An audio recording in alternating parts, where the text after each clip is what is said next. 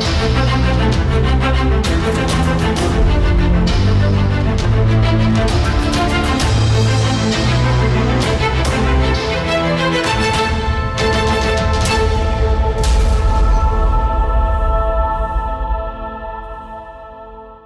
Мої вітання. Це Поділля Інкогніто. З вами традиційно Інна Зубатюк. І сьогодні я вас запрошую у мандрівку усього лише за якихось 40 кілометрів від Хмельницького до містечка Красилів. Тож давайте вирушати.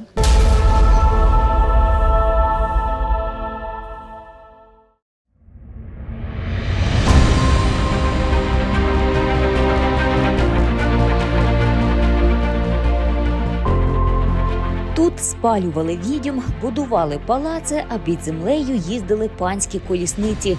Усе це про містечко Красилів. Впевнена, ви точно не знали цих таємниць.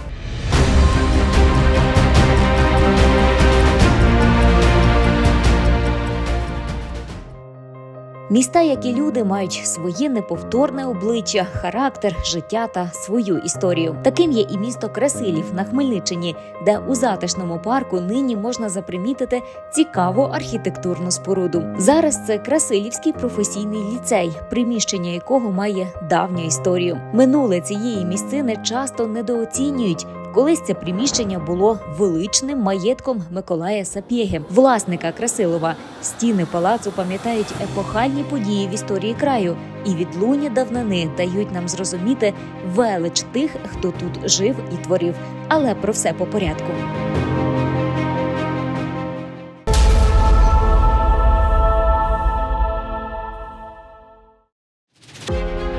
Давня назва Красилова Красне. Є кілька версій її походження. Найпростіша від красивої природи, на якій розташовувалось поселення. І дійсно, природа тут вздовж річки Случ мальовнича. Інша від поєднання слів красивий і сильний. Мовляв, тут жили красиві і сильні люди. Третя версія під час жорстоких набігів татари перерізали велику кількість населення. Аж річка почервоніла від людської крові. Однак історики більш прихильні все ж до перших двох теорій.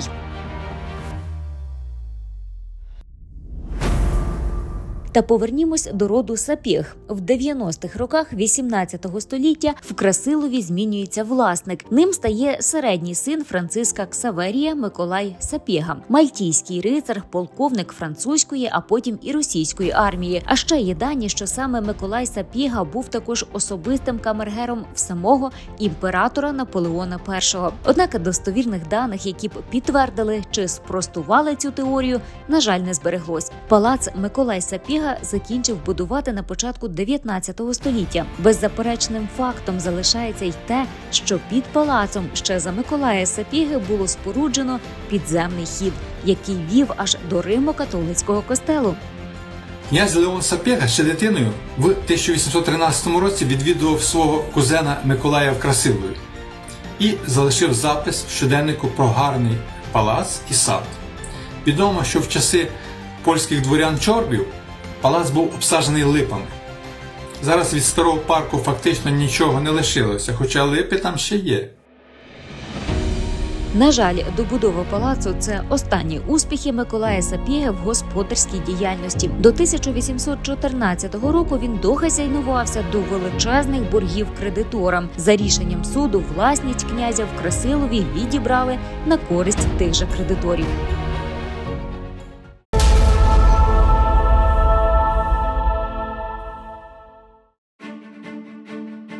У 1840-х роках маєток дістається колецькому раднику Костянтину Чорбі. Є історична згадка про те, що чорби якийсь час жили в Красилові в палаці, затіненому віковими липами і оточеному красивим на той час парком. У 1837 році Костянтин Чорба розпочав будівництво в Красилові найбільшого підприємства цукроварні. Вже у 1842-му цукроварня дала першу продукцію. На кінець 19 19 століття новим власником виявився дуже багатий польський поміщик Емерик Северинович Маньковський. Емерик старший Маньковський передав Красилівську маєтність синові Емерик молодшому, який одружився з Марією Ярошинською. Останніми власниками цієї маєтності були їхні сини Кароль і Юзеф. До повноліття старшого з них опікувалась маєтком їхня мати Марія, яка постійно проживала в Красилові. Тож і збереглася в людській пам'яті саме вона, пані Маньковська, як власниця цукрового заводу та гарного палацу. Сьогодні у цьому приміщенні знаходиться так зване жителями міста училище. Ну, тепер красилівчани так називали красилівчани раніше училище. Зараз це професійний ліцей. Він розташований поблизу е, Красилівської школи номер 5 біля стадіону. У радянські часи будівля дуже змінилася. Вона позбулася такого рельєфного мурування першого поверха, десь зникли комини е, дуже цікавих форм. Змінився дах, до головного входу був прибудований незугарний ганок. Садиба мала два флігелі, бічні прибудови до головної будівлі. В дуже зміненому перебудовому вигляді вони збереглися дотепер. До 60-х років у будівлі колишнього маєтку діяла 10-річна школа, а замурований вхід з боку флігеля це саме був вхід до тунелю. Науковець відзначає, що йдеться саме про вхід зі сторони машинобудівного заводу. Тут залишилися тільки вузькі двері, а тут був широкий прохід, ну, арка сама без ніяких дверей. І саме звідси і заїжджала та виїжджала карета Маньковських. З тої ж сторони жив і сторож, який раніше працював садівником у маєтку Маньковських. Йому на той час, це приблизно 1955 рік, було близько 70-80 років. Сторож, який мав ім'я Броніслав, працював на, е, при школі. Його дуже боялися всі учні, а може й вчителі та сам директор. Ймовірно, він гнівався на школярів за те, е, що, що вони на, зайняли палац, і, ну, палац його господарів. Він вже вважав, це його палац, яким Броніслав віддано служив не один рік. Революція і громадянська війна наклали свій невтішний відбиток на садибу Маньковських. Жителі містечка ласо позирали у бік колишнього панського маєтку, прикидаючи, чим саме там можна поживитись. Але завдячуючи тому, що в Красилові був створений польський легіон, який стояв на цукровому заводі, розподіл землі й подальше розграбування маєтку відбулось не так інтенсивно, як це було в більшості маєтків Красилівщини. Та все ж маєток було пограбовано. А доля Марії Маньковської, дворянки з великим серцем і доброю душею, що опікувалась дитячими будинками, стала драматичною. За однією з версій пані Маньковську розстріляли більшовики в 1919 році. Існує також версія, що Марія Маньковська все ж врятувалась від небезпеки, завчасно виїхавши в Польщу. Але всі ці версії надалі залишаються нерозгаданою таємницею. А на горі з іншої сторони тунелю в костьолі.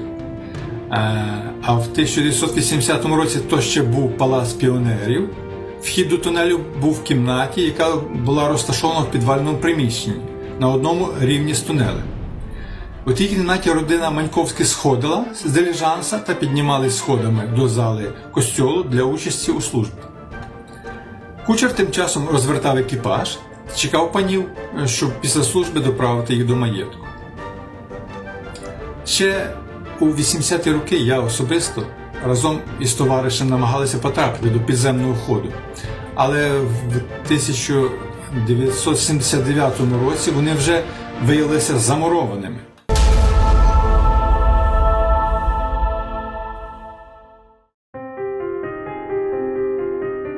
Ще одна потенційна родзинка Красилова костел серця Ісуса. Звів його вже згаданий Миколай Сапіга. Наступний спадкоємець міста Костянтин Чорба продовжив справу з його оздоблення. Наступні власники Маньковські також прихильно ставились до сакральної споруди. Наприкінці 19 століття реставрували її. А от радянські часи були не найкращим періодом для Красилівського храму, як і для багатьох інших. У 1947 році його закрили та влаштували облаштували тут склад, згодом палац піонерів.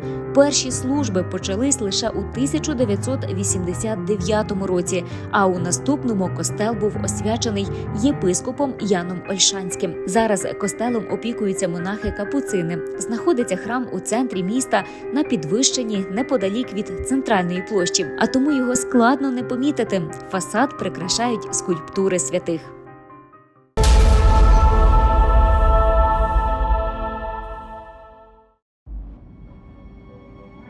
Досліджуючи історію Красилова, ми просто не змогли оминути увагу один непересічний і вкрай цікавий факт, щоправда, трагічний. Виявляється, часи інквізиції, себто полювання на відьом, не оминули і Хмельниччину. Дослідники не так давно натрапили на цікаву згадку в історичних архівах.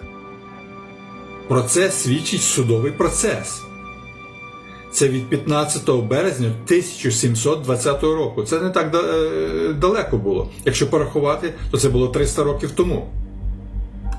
Суд розглядав справу про спалення 120-річної проськи каплунки, ста- 120-річної, яку мешканці міста Красилова запідозрили, запідозрили у насланні на людей мору.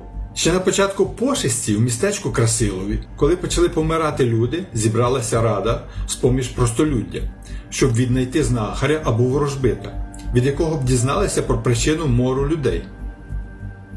Стара жінка, якій доля відміряла, здавалося, е, щастя, довгий вік життя, мимоволі стала його заручницею.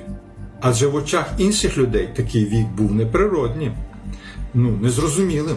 Тому жінку наділяли негативними рисами, її запідозрили у відмарстві. Єдиним доказом її причетності до лихих справ на переконання місцевих жителів було лише її довголіття. Нещасну бабусю ув'язнили та впродовж п'яти днів проську нещадно допитували і тримали в кайданах. Згодом старенько відпустили на поруки її зятям. Втім, врятуватись родині так і не вдалось. Їх наздогнали, а над 120-річною проською вчинили самосуд.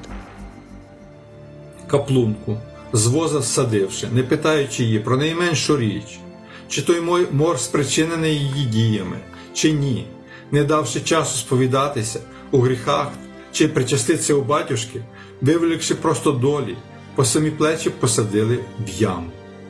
А згодом землею засипали і міцно землею навколо неї палицею оббили. Залишили на горі тільки голову та трошки трохи плечі. А тим хмизом всю голову обклали, той хмиз підпалили. На цьому натовп розлючених людей не заспокоївся. Десятник Фесько Вінник, сильно лаючись та кийком погрожуючи, заставив Федора Мельника е, принести для поховання тещі камінь з млина. З цією метою під вартою з п'яти осіб Мельник був змушений піти до млина, звідти вийняти жорновий камінь та принести його на те саме місце, де було спалено каплунку. Таким виходкам позаздрить навіть іспанська інквізиція. Ось такою колоритною і неймовірно загадковою є історія містечка Красилів. Аби дізнатись більше про сучасне життя поселення, варто виділити трішки часу та влаштувати для себе і родини невеличку мандрівку. Впевнена, вона вам точно сподобається.